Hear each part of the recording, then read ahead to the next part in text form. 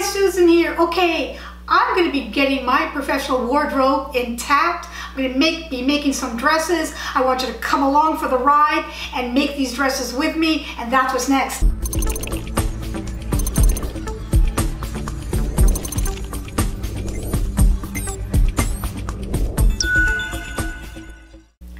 Okay guys, so I've decided I'm going to be doing two different series at the same time vlogs. I'm going to be doing them simultaneously. Um, I'm going to be doing first the vlog about um, making my professional wardrobe and these are going to be dresses not wearing black anymore.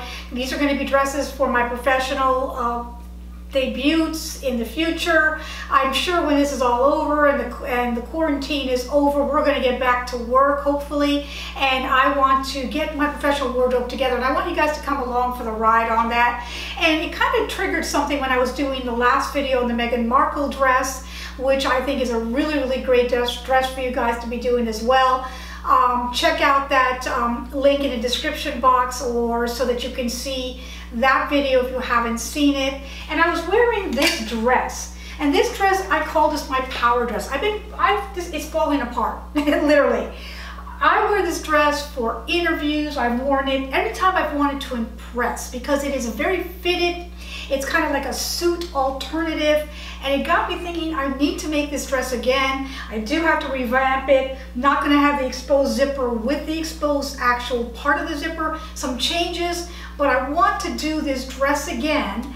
And if you love it, you might have an opportunity to even get the pattern. All right, let me show you on the flat now what we're gonna do. Here's the pattern. This is my 2010 pattern uh, design, and I actually have it graded in uh, 2, 4, 6, and 8. So it will be available to purchase um, on my website if you want the pattern. And I, this is the pattern pieces here.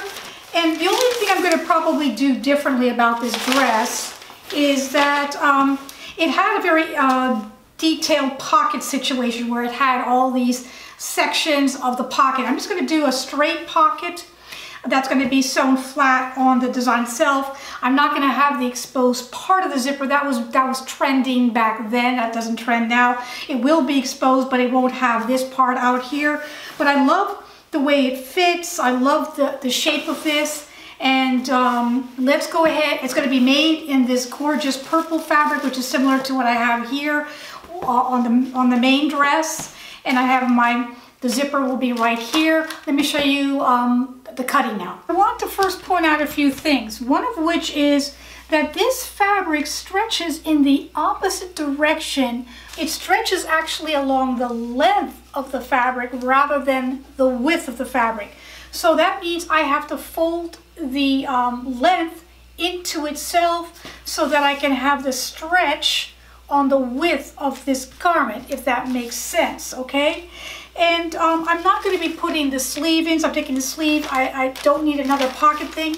And I'm not putting that little section around the pocket um, as well. I'm taking, I'm eliminating those pieces there. I have the actual uh, garment actually pinned on here now. I've laid out the pattern on the fabric the right way. I have checked with um, the fold because it's not, I'm not checking with salvage, I'm checking on the opposite, so I'm checking with the fold to make sure that it's straight up and down. All of these grain lines are proper and I have it all pinned in. So I'm gonna go ahead and cut this out. And then I'll get right back to you.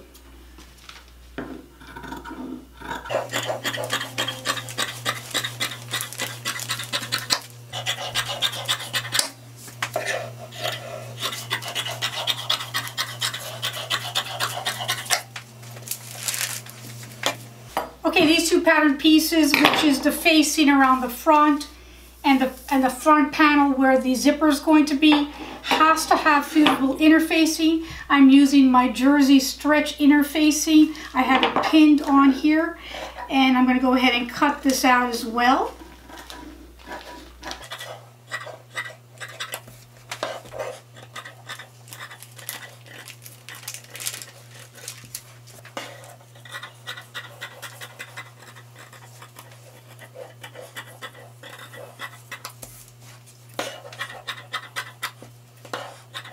Okay, I'm also going to put every notch in on this entire pattern. These are the facings there. And here are here the rest of the pattern. You want to put the notches in where the darts are like that.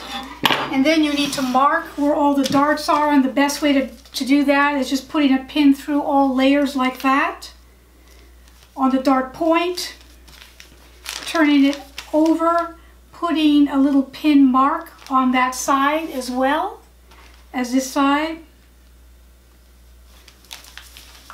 And then on the front as well. So you just need to, so you have the dart points on every dart, just like that. And make sure you put all the notches all the way around this pattern so that you can know where seam allowances are, where hemlines are. All right, and once that's all done and you have the pattern pieces, I'm gonna go ahead and tell you all the details and the sewing on the next vlog. And I hope if you wanna do this pattern, go ahead and let me know in the in the um, comments below or email me at eliascouture at gmail.com and ask for the pattern. You could you could get each size and I'm going to do it separately because I have to make it, um, I have to actually trace the pattern.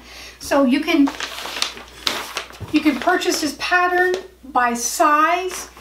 Each size will be for, for a purchase price and thank you so much for watching. Subscribe if you haven't subscribed already, guys. See you next week. Thank you. Bye-bye.